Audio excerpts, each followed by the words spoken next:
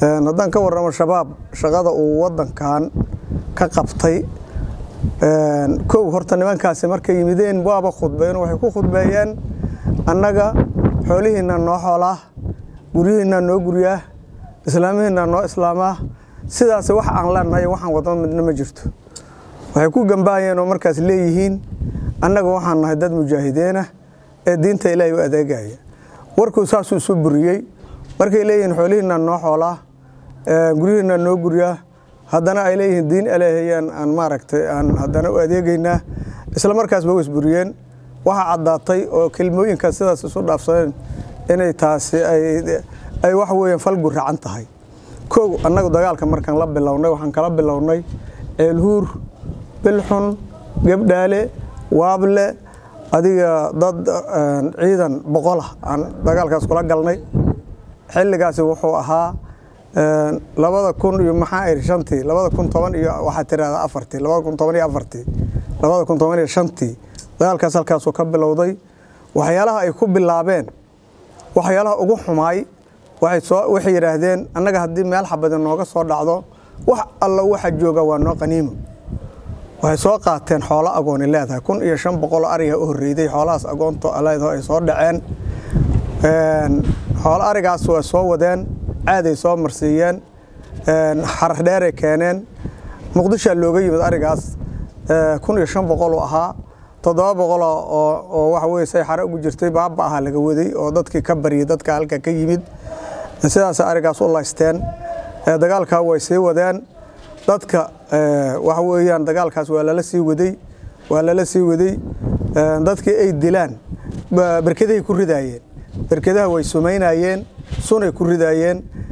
Waa la ogyahay waa laga warqabaa berked alla berkeday maraan dib looma cabi jirin. Nimankaa markaa diin la'aan inay ahaayeen oo niman fircoona inay ahaayeen waa layska ogyahay waana muuqataa.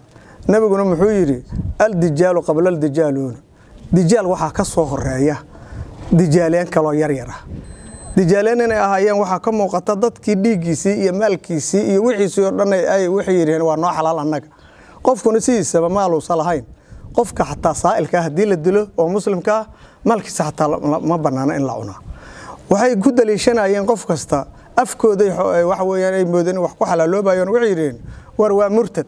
Marka waxaan dareemaynaa nimankaas waxa weeyaan xaqiiqo ah inay niman dijaaleen ahaayeen oo niman waxa weeyaan khawaarij ahaayeen. Khawaarijna waxa weeye man dakhala fii jawfihi bidcatu najdin falaa yurjaa falaaxuhu. Qofku hadday bidco gasho wax rajaa ma leh. Waxa weye dadka gaaladaa xataa waa soo hanuunaan waxay dareemaan oo waxa laga yaaba islaamnimada soo galaan oo yidhaahiin diinta la soo geliyo laakiin qof khawaarij ah.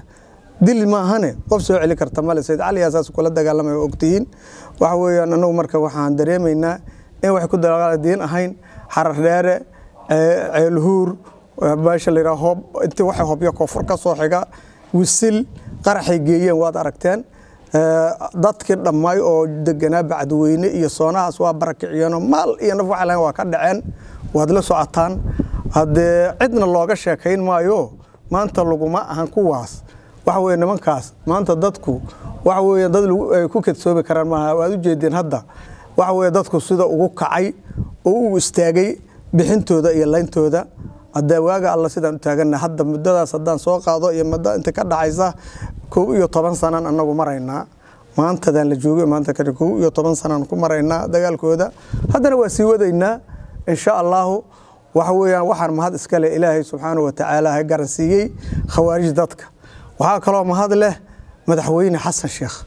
Waxa weeye sida uu ugu dadaalay ee ugu dadaalay in maaragtay waxa weeyaan khawaarijtaas waddanka laga bixiyo uu arkay naf iyo maal dadba inay naf iyo maal baabaha ka dhigeen oo soomaaliya hoos u dhigeen